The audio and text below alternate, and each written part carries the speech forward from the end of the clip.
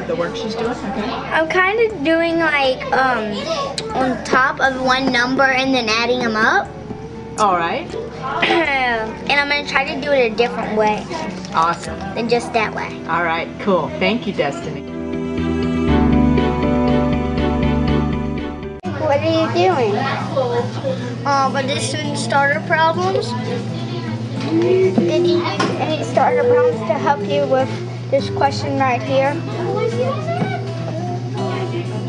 This question? Yeah. Which one did you? Like, since this is a 100 right here, I'll take away 47, then that'll be a 100. Take away um, 16 from that, that'll be a 300. And I use 100 plus 300 equals 400. And I drew it real what it was, 2. And then um, I'm on this one, and right now I'm trying to add up the 10s, like 5, 50 plus 40. Draw like a little box, and then, a, and then two lines, and that means like what it equals to two lines. It's equals 40 equals 90. And um, now I'm adding up the ones like 8 plus. So what is your answer? I didn't get it yet. Oh. Well, thank you, Blake. Wait, wait, wait. Just do a little bit so I can get my answer. Try to get the most cards and try to make sure Caitlin doesn't see them so I can go with the flow and just push it right off the board.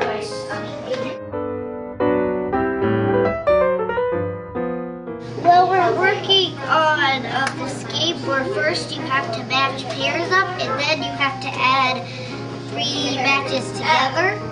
So I just um, added them up and then I just added the tens, the ones, and the hundreds all together and that was my answer. starter problems. So, are these problems like really hard for you or easy for you? They're kind of easy, kind of hard.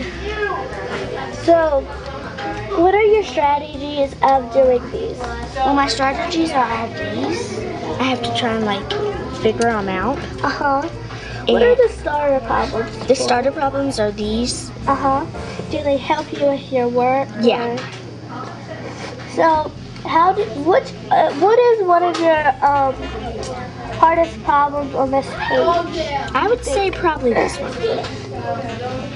What? Um, how did you figure that one out? I figured it out because I know 8 plus 7 equals 15, Uh huh. and 5 plus 1 plus 1 equals 7. Uh huh. So 3, 2 plus 3 equals 5. So it's 575.